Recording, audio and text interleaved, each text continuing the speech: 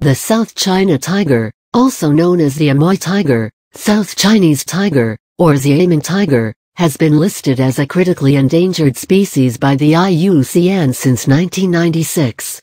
Read more about the limited existence, possible extinction, and other facts about the South China tiger here.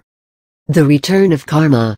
A species which now needs to be protected and conserved the most, the South China tiger was once hunted and killed recklessly as a common pest. The South China tiger is considered to be a stem tiger, one from which the rest of the tiger subspecies have descended. It is a comparatively smaller tiger subspecies. More specifically, it is the smallest tiger subspecies in mainland Asia. Its scientific name is Panthera tigris amoyensis. It is scientifically classified as class, dash mammalia order, dash carnivora family, dash Felidae subfamily, dash Pantherini genus, dash Panthera species, dash P. tigris subspecies, dash PT. Amoyensis The South China tiger is native to most parts of southern China like Hunan, Fujian, Jiangxi, and Guangdong. Almost on the verge of extinction, this species is described as the most distinctive of the tiger species with respect to morphology. A detailed description of the general characteristics, habitat, reproduction, temperament and behavior, and conservation status of the South China tiger is given below. Physical appearance Initially, according to Max Hilzheimer, a German zoologist, the South China tiger was found to be of the same height as the Bengal tiger, although it sported differing skull and coat characteristics. They can be easily distinguished from other tiger subspecies because of their shorter fur, longer nose, broader skull, and narrower face. Also, these subspecies are known to have the least number of black stripes on their body. The skull of a South China tiger is relatively larger as compared to its slim body and tender waist. The ratio of the skull to the body is more than in any of the other tiger species. Their coat is yellowish in color, as opposed to the Bengal tiger's bright orange. The black stripes on their thick fur coat are farther apart from each other, narrower, pointy-edged, and more in number, making the coat more attractive in appearance.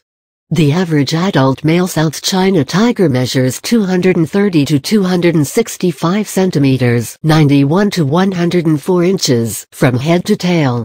It weighs anywhere between 130-175 kilograms 290-390 pounds.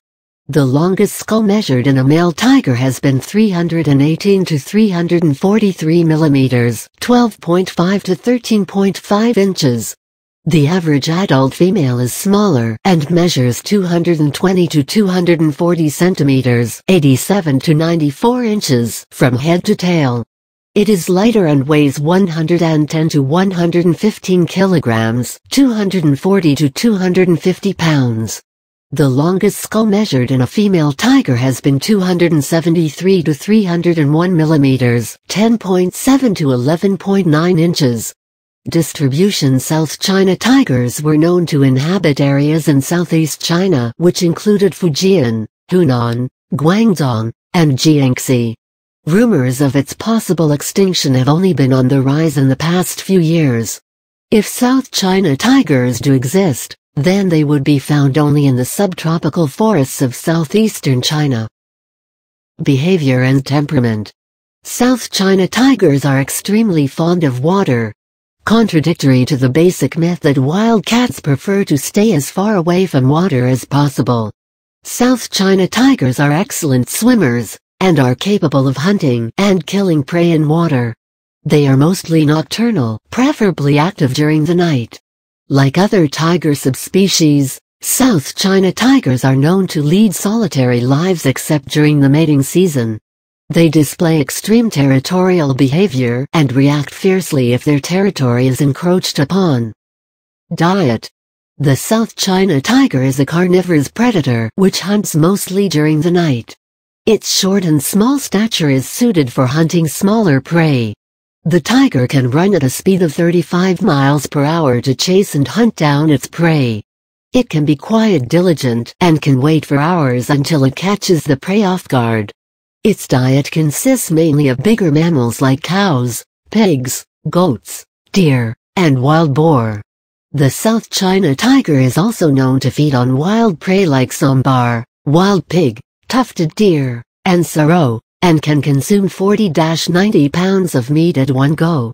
The South China tiger was once labeled as a man-eater as it killed humans for food.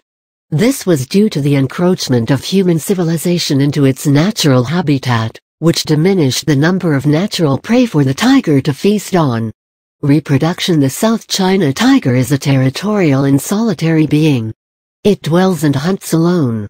The only period when the tigers thrive together is during the mating season. South China tigers usually mate during the winter or spring season. The gestation period does not last longer than three or three and a half months. The female gives birth to a litter of 3-4 cubs.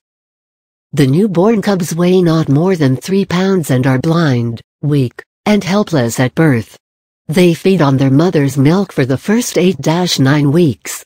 The mother feeds them until they are ready to hunt on their own. They start hunting after reaching 18 months of age, and become fully independent at 2 years of age. Lifespan A South China tiger is believed to be able to live a healthy life for 15 years in the wild.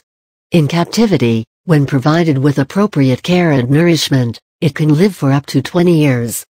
Population decline Like it has been explained before, the South China tiger is one of top 10 most endangered species of the world. It was only a few decades back, during the 1950s to be precise, that the number of South China tigers around the world was approximately 4,000. This number, however, has dwindled down to less than 100 today. The major cause for this decrease in population has been the reckless hunting and killing of the South China tiger as a pest. The tiger was actually killed in large numbers as it was thought to be a pest to the human civilization. The decline in the population of this species has also been attributed to other causes like destruction of its natural habitat, decrease in the density of its prey, and poaching and killing for its skin and body parts. Conservation status According to the World Wildlife Fund for Nature WWF, a total of 47 South China tigers are distributed among 18 zoos, all in China. The International Union for the Conservation of Nature IUCN, has listed the South China tiger as critically endangered. The WWF thinks that this species is functionally extinct. Another report suggests that no South China tiger has been sighted in the past 25 years.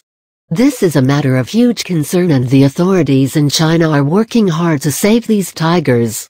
Special rewilding projects that require some South China tigers to be released into the wild for mating and reproduction, are being planned and sanctioned. However, lack of existing protected areas or large natural habitats in which the tigers can breed reduces the possibility of these plans being successful. Hope keeps us going. Although it seems difficult, it is definitely not impossible to revive the population of this majestic species. The conservation of the South China tiger species is a need of the hour. Many animal welfare organizations have come up with programs and initiatives that aim at reintroducing these tigers into the wild and increasing their population.